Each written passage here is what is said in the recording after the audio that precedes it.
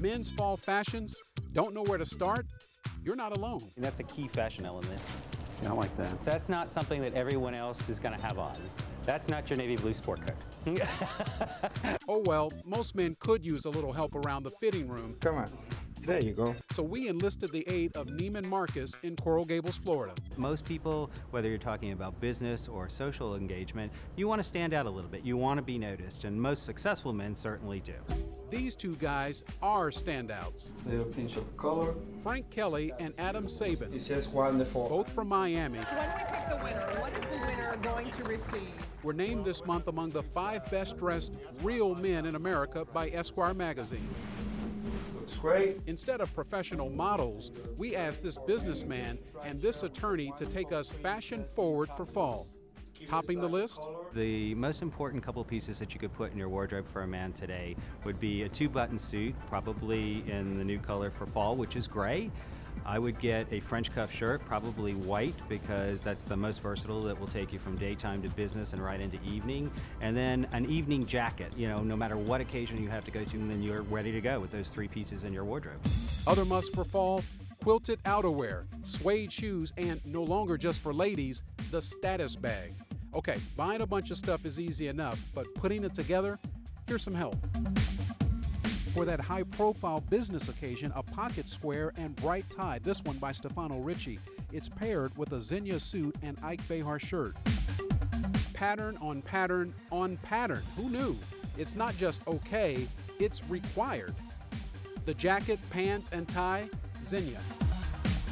Then up the ante on business casual. Here they use color with this Isaia jacket and pants, plus a Neiman Marcus label cashmere sweater. For play, the quilted vest is a must have. This one by Modern Amusement with Neiman Marcus classic wool sweatpants. The shiny all wear shoes by Puma. Also for fall, evening wear goes way beyond black. Here, a standout Prada jacket with Armani Collezione pants and a Brioni French cuff shirt. That's a tough look to pull off. After Neiman stylist Tony Mendez got these regular guys looking great, I have to admit a little makeover envy. So when I got up this morning and put this on, I thought to myself, not too bad. And then I got here. Bam. Okay. Slight upgrade from what I had on just a moment ago. This is a Brioni suit, beautiful navy blue suit. The shirt and tie combination I love. I may not have gone for that myself. The pocket square has got that little touch of whimsy, which is very cool. And then to top it all off, these brown suede shoes. This is a great outfit for me. Wow. Okay. This is this is different, but I, I love the overall look. I've got an Armani Collezione jacket, some Dolce & Gabbana jeans, this nice white shirt, some Prada boots.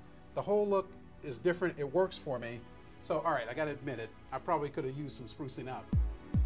After all the fashion fun, Esquire's best dressed winner says step one is the right suit. Nothing will transform a man's look than a suit that fits him well.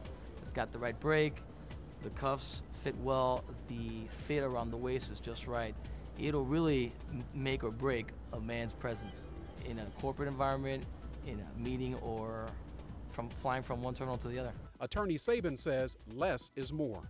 It's better to buy fewer things but get good quality than it is just to fill your closet up with stuff that's just mediocre.